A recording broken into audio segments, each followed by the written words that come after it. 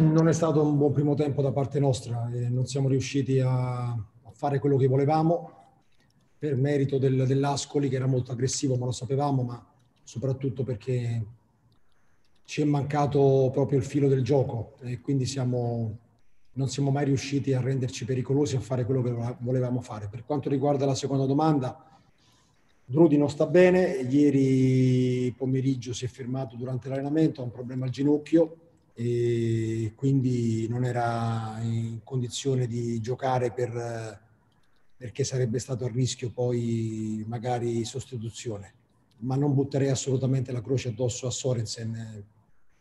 E ci sono stati comunque degli errori, dispiace tanto averla persa perché al secondo tempo i ragazzi hanno buttato il cuore oltre l'ostacolo, hanno dato tutto quello che avevano, abbiamo cercato anche di vincerla e dispiace averla persa, e chiaramente ci sono stati degli errori importanti, soprattutto sul secondo gol, che ci hanno poi punito, insomma, dispiace soprattutto aver preso il pari del 2-2 perché altrimenti sarebbe stata un'altra partita. Senta, mister, buonasera. Eh, questa sera mi sembra, questa è la mia sensazione, insomma la difesa a 4 con un giocatore in più tra centrocampo e attacco non, abbia portato grandi benefici. Insomma, la squadra non è stata ordinata eh, come nelle precedenti cinque partite della sua gestione, ha fatto fatica proprio a trovare le distanze. Ma oltre alle distanze, soprattutto il gioco, insomma, eh, dovevamo fare cose diverse quando avevamo palla e invece non siamo riusciti a farlo, ripeto, merito dell'Ascoli, ma demerito anche nostro e al secondo tempo abbiamo fatto quello che dovevamo fare, siamo passati in vantaggio, ci hanno ripreso, ripeto, su un errore brutto e poi abbiamo cercato di fare la partita che dovevamo fare. E abbiamo cercato anche di vincerla con, con l'innesto di un giocatore fresco che potesse darci quella qualità in più e dispiace aver preso il terzo gol perché mancava un minuto e mezzo e sicuramente il danno è stato pesante. Scusi, eh, mister, ecco, io mi gioco subito la seconda domanda. Eh, sul piano dell'impostazione, mm, c'è, eh, qual è stato il problema? Busellato si sarebbe dovuto abbassare per costruire, anche se lui non ha nel DNA insomma, la costruzione del gioco. Ma dovevamo fare meglio soprattutto sulle catene, sia destra che sinistra. Non siamo riusciti a, a trovare le distanze giuste sbagliavamo movimenti e quindi è chiaro che l'Ascoli aveva vita facile a venirci a prendere e, a rintuzzarci ogni volta che cercavamo l'uscita, che inizialmente era sicuramente giusta, poi dovevamo fare dei movimenti diversi, cosa che i ragazzi hanno fatto bene a, a Pordenone, oggi non ci è riuscito e quindi, eh, ma nonostante ciò, insomma, siamo andati, siamo andati al, alla, a fine primo tempo sul pareggio e poi abbiamo fatto la partita che dovevamo fare, siamo passati in vantaggio, ripeto, e poi tutto quello che ho detto in precedenza. Più sei? Valerio? Dolly, eh, allora, intanto, come mai nel secondo tempo paradossalmente la squadra ha fatto meglio? C'è anche un condizionamento psicologico, cioè la squadra ha sentito di più la partita nel primo tempo e quando sembrava persa perché era in dieci uomini, eh, era andata anche in svantaggio, poi si è quasi liberata. E poi le chiedo il futuro immediato, come lo si gestisce, perché questa è una, è una mazzata tremenda, però la matematica dice che è ancora un campionato giocabile. Assolutamente, ripeto, eh, mi dispiace proprio per questo non, aver, non essere riusciti a, a, terminare la partita una volta che non siamo riusciti a vincerla, a portarla a casa, perché il pareggio ci stava tutto e, ed è sicuramente una mazzata pesante. Da domani si riparte, abbiamo l'obbligo di crederci perché la classifica è brutta ma non ci condanna ancora ed è ovvio che ci tocca fare adesso risultati importanti.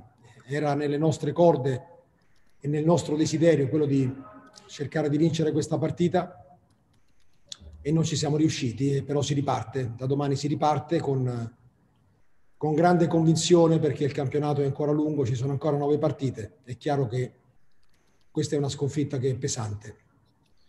Buonasera mister, le chiedo al netto di... Eh, lei ha fatto bene, sono stato il primo a dirlo, di, da quando è arrivato lei c'è stato sicuramente un, un, cambio, però questa sera i soliti errori, ripeto, lei non ha colpe in questo su determinati giocatori che segnano il percorso di questo Pescara di quest'anno, soprattutto mi riferisco ai senatori, però adesso le faccio io la domanda, quanto ci crede lei uh, in, uh, in, questa salvezza vista i cinque punti? Cioè, è, è davvero fattibile perché aver visto gli errori di questa sera in partite così importanti, ripeto, da gente che dovrebbe caricarsi la squadra sulle spalle, la vedo abbastanza difficile.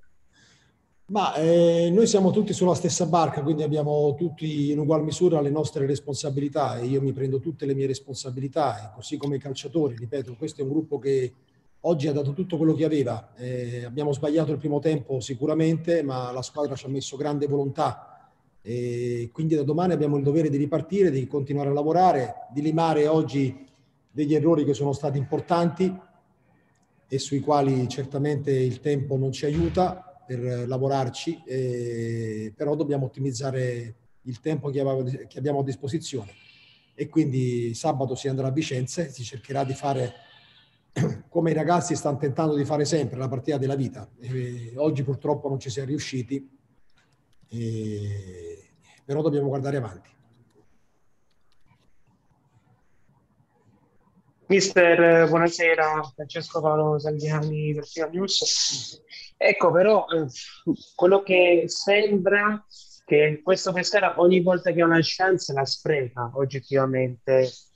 Forse veramente eh, serve qualcos'altro oltre fare la partita della vita. Non so se è della mia stessa opinione perché oggettivamente questa sera bisognava solo vincere.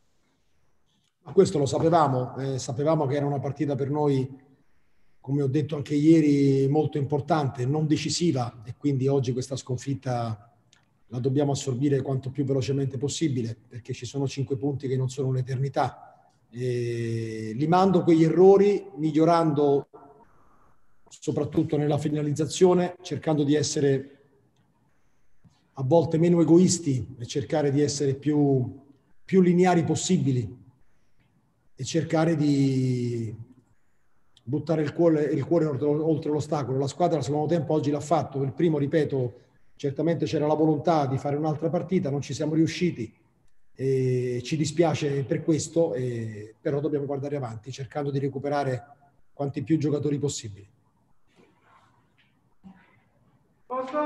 Perfetto, abbiamo dunque ascoltato Gianluca allora, queste,